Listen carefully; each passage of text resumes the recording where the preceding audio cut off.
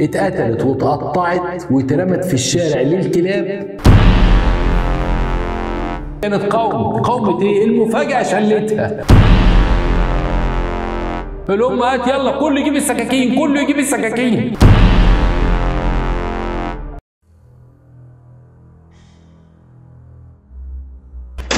إن عواقب ارتكاب الجريمة وخيمة جدا.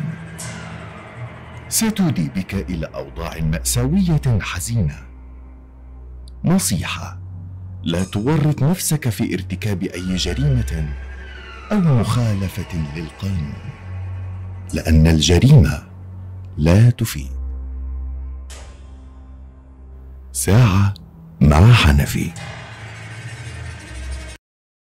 أهلا بكم. أهلا بكل مشاهدي قناة ساعة مع حنفي. القناة المعنية بعالم الجريمة اللي من خلالها بنرسخ لمفهوم هام جدا إن الجريمة مهما كان ذكاء مرتكبها أو فاعلها لن تفيد وإن العقاب واقع لا محالة. تعال نشوف الجريمة دي اللي غريبة جدا. تمت بالصدفة. وتمت بسبب إيه؟ بنت جميلة اسمها حفيظة. 23 سنة خريجة خريجة جامعية قسم فرنساوي. كل مشكلتها إنها جميلة. اتقتلت واتقطعت واترمت في الشارع للكلاب لأن كل جريرتها وكل مصيبتها إنها جميلة. إيه اللي حصل لحفيظة 23 سنة؟ الجريمة دي من ست سنين. حد يقول إنها تفضل تتداول في المحاكم ست سنين؟ ليه؟ ليه يعني؟ تعال نشوف تفاصيلها ونشوف في الآخر أثمرت عن إيه البنت دي في الأول عشان يبقى كل الناس عارفة الجريمة دي في دولة الجزائر. في ولاية اسمها بسكرة. ما أعرفش بنطق الاسم صح ولا غلط. البنت دي خريجة جامعة قسم فرنساوي. بتنزل مع أهلها إن كانت تروح لقرايبها إن كانت تروح لأصحابها تروح مشاورها وبترجع. ده عندها 23 سنة صغيرة. ساكنة في الدور الثالث في الدور الثاني أسرة متكونة من ثلاث شباب وثلاث بنات وأمهم. أبوهم ميت.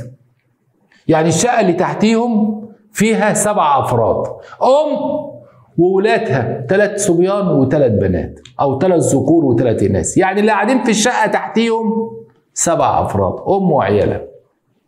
البنت طبعا وهي طالعة شقتها ونازلة شقتها بتعدي على شقة الست وعيالها. البنت الجريمة حصلت إزاي؟ البنت راجعة من بيتها راجعة من شغلها. وطالعه على السلم. الواد بيفتح الباب بالصدفة عيل من العيال اللي أمه قاعدين مع أمه. كان في الوقت ده الصدفة إنه قاعد لوحده. الجار ده عنده 34 سنة ومش متجوز. وأمه عندها 60 سنة. فتح الباب لقى البيت طالع على السلم. الشقة بتاعته فاضية. لا أمه ولا إخواته موجودين. البنت طالعة عادي جدا بصت له مساء الخير لها مساء النور وطلع. مرة واحدة راح شدها من الحجاب. طبعا المفاجأة يا جماعة المفاجأة. واحد يقول لك كانت تصرخ. هي ما لحقتش تصرخ. كانت قوم قومة إيه المفاجأة شلتها. واحدة بت... لقت واحد شاب واقف جارها. عارف أمه وعارفه أخواته ومصاحبة البنات وإخواته. شدها من من الحجاب بتاعها وراح مدخلها الشقة وقفل عليها. كتم نفسها وراح مجرتها من ملابسها واغتصابها اغتصاب كامل. حافظة طبعا اللي تعرضت له مش سهل. من أول ما خطفها وشدها من شعرها ودخلها لغاية ما شل مقاومتها لغاية ما كتم أنفاسها لغاية ما جرتها من ملابسها لغاية ما اغتصبها بعد ما فاق من اللي عملوه ابتدى يلطم. هعمل إيه؟ دمي وإخواتي جايين. وحفيظه هتقول لأهلها مستقبلي هموت هيعدموني. راح جاب السكينة وراح دبح حفيظة. بعد ما دبح حفيظة طب هعمل إيه؟ أهلي زمانهم جايين. أهل حفيظة هيسألوا عليهم دخل المطبخ لقى أمه محتفظة بسطور. راح جاب السطور ومن وسط البطن فصل النص الأعلى عن النص الأسفل. وهو قاعد يمسح في الدم مين طب أمه وإخواته. لقوا الجثه في الحمام والدم مغرق. عملت إيه؟ عملت إيه؟ قال لهم غلطة عمري. هنا بقى الأم والإخوات يعملوا إيه؟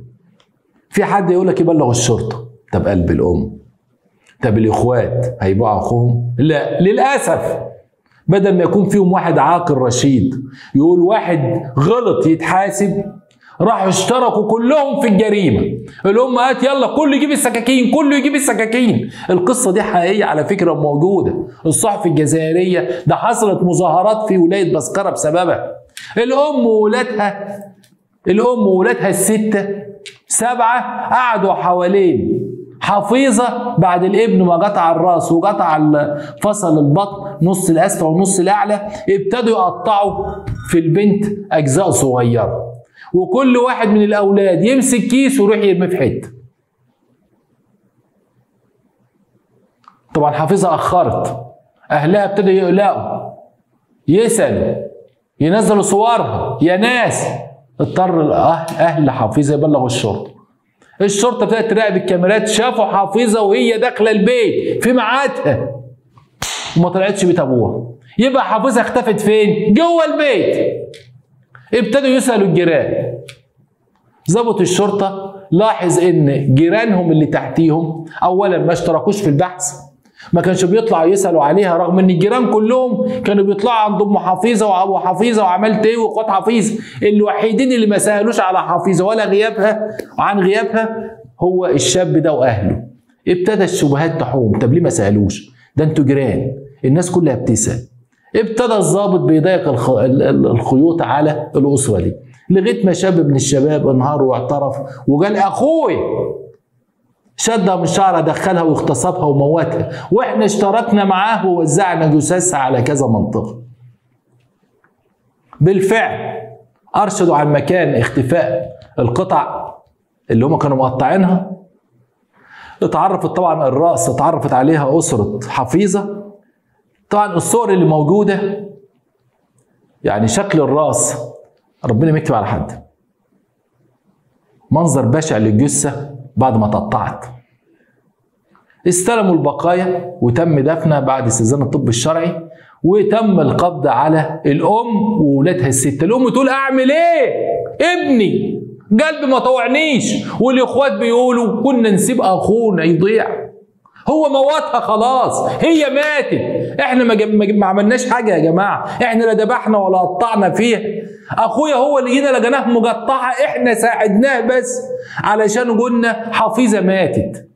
هيفيد إيه لما اخويا يموت؟ لو موت اخويا هيرجع حفيظة. والله كنا سلمناه للعداله كنا قلنا لهم خدوه اهو موتوه وترجع حفيظة. بس حفيظة ماتت. وامنا قالت لنا هيفيد بايه لو بلغنا عن اخوكم؟ هل بلغنا عن اخوكم هيرجع حفيظة؟ بدل ما هو يموت هو التاني يعيش وحفيظ الله يرحمه. عشان كده كلنا ساعدناه في اخفاء معالم الجريمة. إحنا ما عملناش حاجة إحنا كان غصب عنا أمنا شايفينها منهارة. وأخونا اللي عمل المصيبة منهار. واللي ماتت مش هنعرف نرجعها. هيفيد بإيه إن إحنا نموت أخونا ونسلمه؟ الكل اشترك في الجريمة ومثلوا الجريمة والقضية قعدت ست سنين. ليه؟ ليه ست سنين؟ نقد واحكام و و و و. اتحكم على الشاب بالإعدام والبقية بالسجن. طب يعني إيه ذنب حفيظة ده كله؟ ليه؟ لكن هنقول إيه؟ لله الأمر من قبل ومن بعد. اشكر